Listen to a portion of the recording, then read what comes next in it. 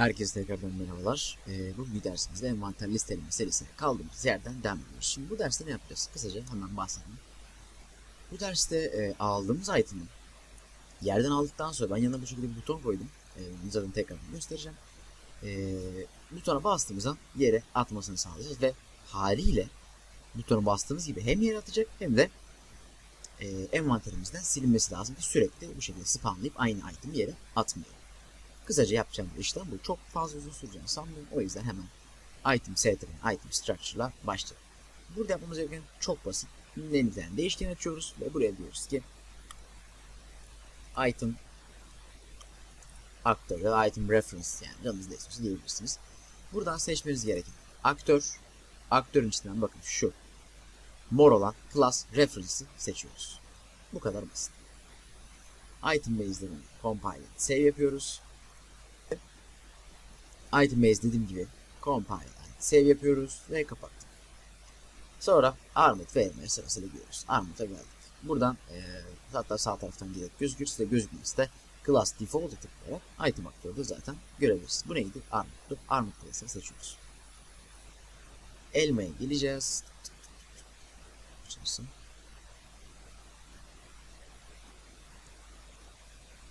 Evet.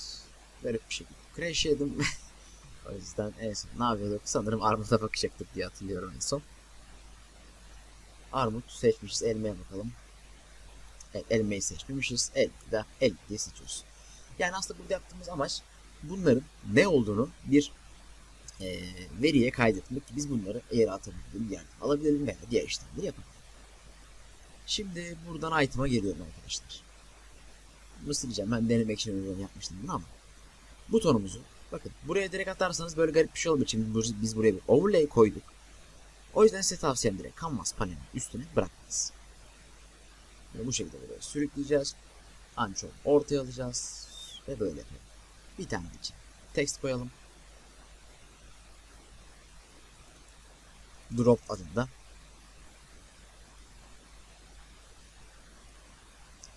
Ve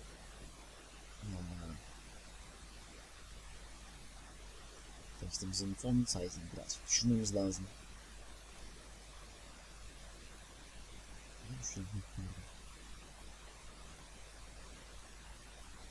Böyle yapıp aslında ortalasak olur ama. Hiçbir şey yaramıyorsun istemiyorsun ama. Nasıl sıkıntı yani şöyle mesela tamam. Ya böyle de olur. Daha dert değil açıkçası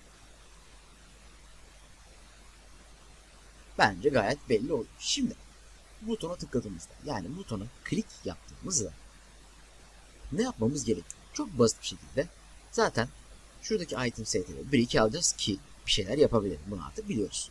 Bize ne lazım? Bu arkadaş bakın gördünüz mü geldi zaten buraya. Bunu spam etmemiz, doğurmamız lazım. Yani spam active from class'ı çağırıyor. Class'ımız bu. Yani bu item zaten biliyorsunuz biz çağırdığımız gibi otomatik tüm verileri dolduruyorduk. E zaten e, bu da ona göre doğmuş olacak ki class'ın ne olduğunu anlamış olacağız. Çok güzel. Compile etmeye çalışalım ve hata diyor ki nerede dolduracağımı söylemen lazım yoksa ben bunu yapamam. Haklı. Ben bunu doldurması için karakterimizi açıyorum. Open editörden. Karakterimize önüne bir tane arrow yerleştiriyorum ki biraz ileriden spam edelim karakterimiz gibi doğmasın diye. Bu şekilde. Böyle. Ee, ve Kesto Third Person karakter. Get Play karakter. Bunlar zaten biliyoruz. Ben nasıl yazdıysam az önce. Süper. Ee, bunun içinden de Get World Position Location daha pardon. Location olarak arrow birimi çağırıyorum ve bunu buraya yazdıracağım. Ancak bu sarı. Bu bir location. Bu bir transform. Yani demek sağ tıklıyorum. Split diyorum. Böldüm. Şimdi transform 3 tane değerden oluşuyor zaten. Ee, lokasyonu yani pozisyonu rota, rotation'ı yani e, rotasyonu diyeyim yani döndürmesi diyeyim o anlamda söyleyeyim size. Scale yani büyüklüğü. Bunların üçünü birleştirince transform çıkıyor ama biz sadece lokasyon alacağız. Bizim ne rotation'a ne de başka bir şeye ihtiyacımız şu anlık yok. Eğer obje atıyorum ters gelir siz istemediğiniz şekilde gelir. Tabii ki de bunun aynı zamanda rotation'da alabilirsiniz. Ancak biz location dolduracağız. Geri kalanın sıfır kalması. Bizim için yeter. Şurada çok güzel bir ayar var. Always spawn ignore collision yani her zaman spam yap duvarın içinde bile olsam spamla diyor. Bu da diyor ki ee, alttakinden bastım bu değil de location bak eğer ki bir collision yani bir duvarla filan çarpışmaya kalkıyorsa spam yapma. Daha gerçekçi bir şey ama bizim için şu anda bu yeterli. Bunu da seçebilirsiniz dediğim gibi. Always spam ignore collision. Collision'ı umursam. Haydi bir deneyelim. Evet. Elmayı aldık. Önüme bakıyorum bu şekilde. Kendimi görelim. Drop'a bastığım gibi elmanın normalde doğması gerekiyor. Ancak bir şey olmadı. Okey. Şöyle bir şey yapsın. Birazcık ileriye çeksek. Acaba ondan mı kaynaklanıyor? Collision değil ama karakterin içinden doğurmaya kalkıyorsa. Yani şöyle olur arkadaşlar aslında. Biz doğuruyoruz.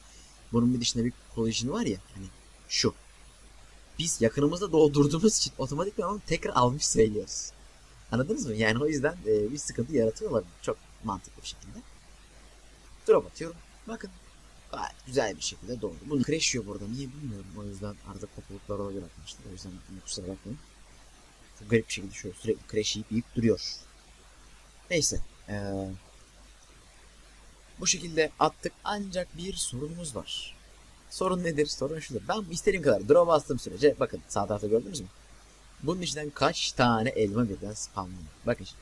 Aldığımda anlamaya çalıştım. Olay bu. Bizim burada yapmamız gereken biz bunu drop tuşuna bastığımız gibi oradaki item'daki e, listeyi yenileyeceğiz ve sileceğiz. Aslında temel prensibimiz bu. Peki onu silmek için nelere ihtiyacımız var? Bakın şimdi. Bizim onu silmek için öncelikle bir third person'a erişmemiz gerekiyor. Zaten bunu artık biliyoruz. Biz ne diye kaydetmişiz? Envanter demişiz. Süper.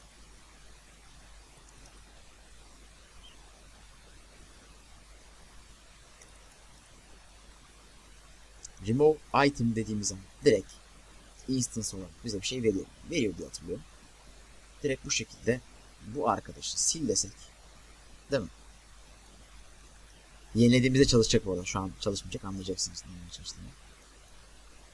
Kapattım, açtım ve gayet güzel. Şimdi e, bunun bir şeyi var. Remove adında bir tane e, nodu var diyeyim. Bu remove'u çağırdığımız an diyor ki şunu bu item varsa elimizde ki var o item elimizde olduğu zaman direkt buradan bak bunu sil dedik ve sil. Şöyle bir şey de yapabilirdik. Bu da çok kullanılan bir yöntem. Item'a bir tane structure için nameleyip ID belirlerdik ve bu ID'yi her item çağırdığımızda verirdik. Yani nerede çağırıyoruz? Manter burada. Onu da söyleyeyim böyle de yapabilirsiniz. Bakın burada for each dönüyor ya. Burada her döndüğünde şu array elementteki indeksi bakın indeksi verebilirdik item. Verdiğimiz sürece de zaten otomatikman oradaki şeyi sil diyebilirdik. Ama dediğim gibi böyle bir yöntem varken böyle bir şey şu anlık gerek Yok başka şeyler yapıyorsanız tabii dediğim gibi onu da kullanabilirsiniz. Ee, peki. Güzel. Sildik ama orada gözükmüyor. Ben tapla yenilemek zorunda mıyım? Hata sonuçta. Hayır. Bunun için ee, bir refresh olayı vardı. Ya refresh olarak yenileyeceğiz. Şöyle bakalım ona. Bizim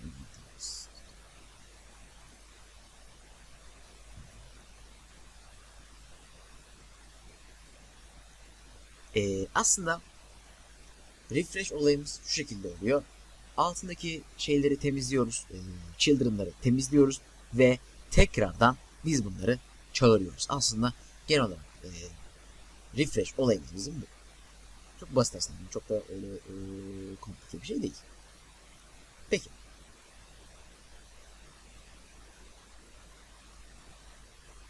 Bunu şöyle yapabiliriz arkadaşlar. Ben buraya bazı Biraz parçalayacağız şimdi. Türkçe şekilde yazacağım. Ya da Türkçe şekilde yazmayacağım. Ya. Böyle yazayım. Yarı yarıya gitmeyelim de Türkçe bilmeyecek. Bu kafa karıştıracak kim olmasın.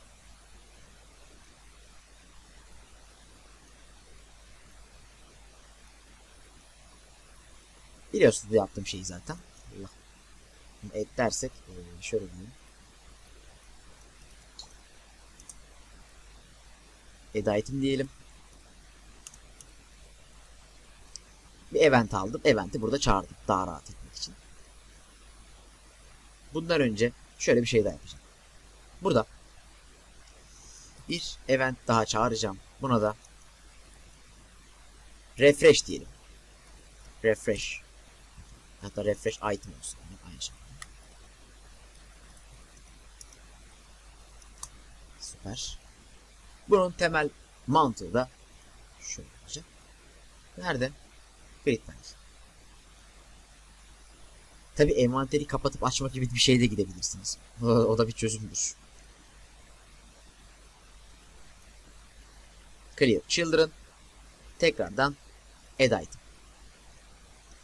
Bu refresh item şeyini de ben dışarıdan çağırmak istiyorum. Tamam. Şimdi şöyle bir şey yapalım arkadaşlar. Ee, bu item arkadaşlar. Bir gidelim buraya. Diyelim ki bizim sana bir tane e, INV adlı referans vereceğiz. Tamam. E, NV diyelim. Direkt kendi referansını verelim madem öyle. Tekrardan çağıracağız. Evet. Compile. Save diyeceğiz. INV değil. Pardon. Böyle diyeceğiz. Ve artık nihayet kendini referans rahat bir şekilde verebiliyoruz. Süper. Ve komutlar kısmında atamamı yaptım. Tamam. Şimdi ne yapacağız? Gelelim item'ımıza. Burada ben diyeceğim. Buradan direkt olarak çekince, çekeceğiz. Ee, refresh falan mı demiştiniz? Refresh item bir çekelim bakalım işe yarıyor. Bir deneyelim bakalım. Hatam veriyor işe yarıyor. Tabii önce ben bir e, şöyle bir şey yapsam daha tatlı olabilir. Save all desem. Evet. Çünkü crash yemek istemiyorum. Niyeyse bugün 4. 5. crash'im oldu. Biraz beni üzüyor tabii ama. Bu güzel değil. Bir daha deniyoruz.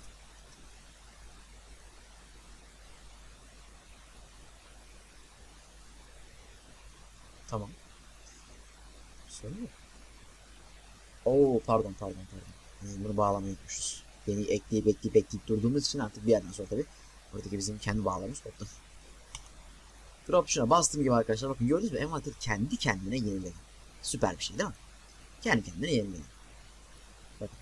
Daha fazla drop basamıyorum. Arkamda bu arada o yüzden böyle gözüküyor. Aslında benim demeye çalıştım. Temel mantık bu. Bunu ister silah e, şey yapma, ister farklı bir şekilde kullanabilirsiniz.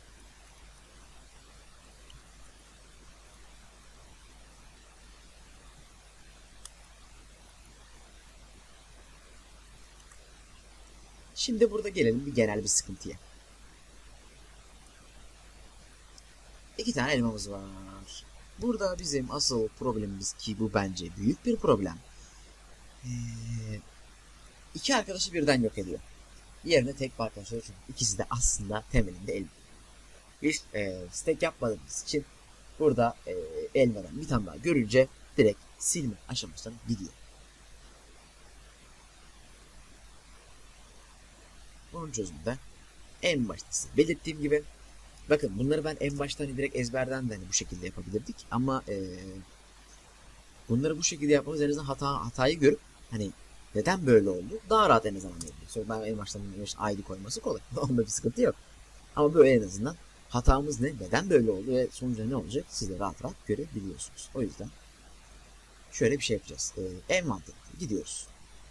Tabi dersler bir yerden sonra biraz daha karışacaktır böyle ama hani dediğim gibi en baştan beri takip ediyorsanız böyle 1, 2, 3 derken bir yerden sonra izleye izleye zaten her şey oturacaktır merak etmeyin. Ve tabii ki de burada bir e, envanterlerimize bir bizim bir e, indeks vermemiz gerekiyor.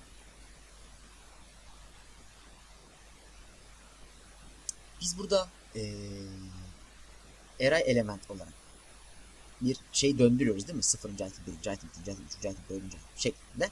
Tamam. O zaman şunu bağlanıp kapanmak istiyorum. make desem. Tamam. Break desem.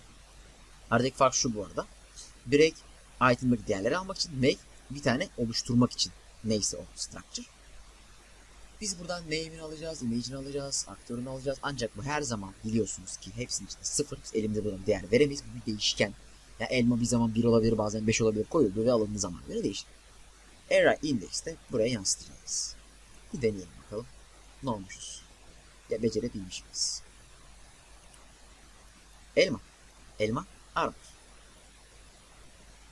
Gördünüz mü? Ne arttı ne eksildi. Gayet güzel bir şekilde bakın tak tak tak. Anladınız mı olayı? Olay çok basit aslında. Direkt sadece ben buradan yani sana bir indeks vereceğim. Ve bu indeks 0, 1, 2. Bu neden peki buradan verdim? Buradan vermemin sebebi aslında şu. Bu her item'ı açtığımızda refreshliyor ya. Hani yeniliyor. Yenildiği için 0, 1, 2, 0, 1, 2, 0, 1, 2 her seferinde güncelliyor. Azalsa bile güncelliyor, artsa bile güncelliyor.